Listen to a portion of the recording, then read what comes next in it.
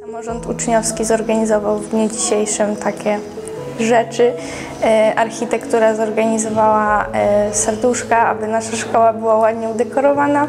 Zorganizowaliśmy również pocztę walentynkową, aby móc miło spędzić e, czas w tym dniu ze znajomymi. To jest właśnie część tej poczty, tak? Tak, to jest część tej poczty. Co to jest dokładnie, jak się opisać?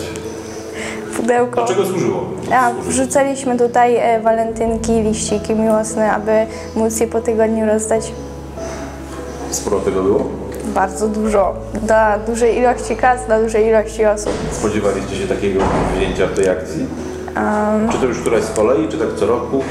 Nie sądziliśmy na pewno, że będzie aż tyle walentynek, ale było bardzo fajnie i z tego, co można było zauważyć, uczniowie również byli zadowoleni z liścików, które otrzymali. Kto jest bardziej odważny u Was w szkole? Chłopaki czy dziewczyny? Dziewczyny.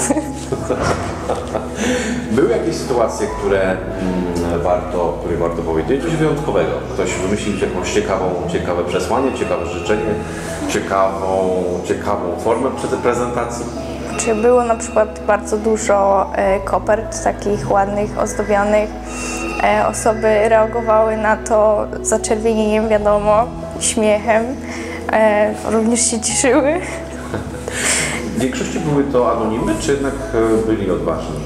Większość to raczej anonimy, aczkolwiek później ludzie na przykład się przyznawali, że to od nich walentynki.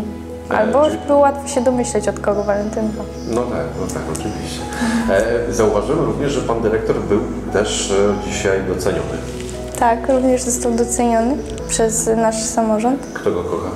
No cała szkoła, wiadomo. No, brawo, to była bardzo dobra odpowiedź. e, słuchajcie, wyście już zakończyły tę akcję, czy jeszcze trwa? E, jeszcze trwa, dzień się nie skończył przecież, a jutro mamy e, dyskotekę walentynkową, która została również zorganizowana przez samorząd uczniowski, aby uczniowie mogli się dobrze zabawić.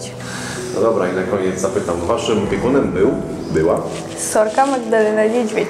14 walentego to ciekawe święto? Powinno być w kalendarzu? E, No moim zdaniem tak. Dla tych, którzy... święto zakochanych. Zakochanych. Dla tych, którzy są nieodważni, jest to możliwość e, przełamania w tym dniu swoich e, lęków? No oczywiście, że tak. No każdy może dać o sobie, a jak nie chce zajść, powiedzieć wprost, to może dać taką karteczkę z walentynką i Tym bardziej, że tą karteczkę, karteczkę nawet sam nie musi wręczać, prawda? Bo wy ją wręczacie. tak. E, no i ciebie też zapytam, e, czy były ciekawe, ciekawe, fajne momenty? Coś, jakieś chwile wzruszenia? Jakieś pierścionki już zaręczynowe? Nie no, jeszcze pierścionków nie było, to za wcześnie. Za wcześnie. Daty ślubów też nie były jeszcze ustalane. No nie. Te gorące serce pewnie i walentynkowe i wośpowe bije u was pewnie codziennie, co?